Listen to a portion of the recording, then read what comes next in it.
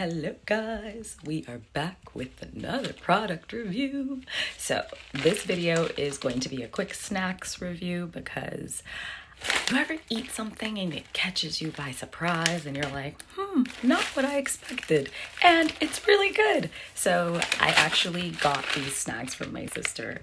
Thank you so much for for opening up my perspective on cauliflower bites, but these are so tasty. Like, I don't know why. It's like a combination of crunchy and like well seasoned, you know. Um, I am not being sponsored by this. I just tried it randomly because she had it in her house, and I was like, wow, okay.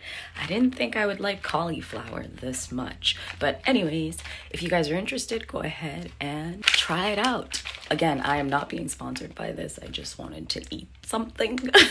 but if you guys want to go ahead and support that channel, go ahead and use the link down below because it is at no cost to you if you're going to buy it anyways. You might as well just support the channel.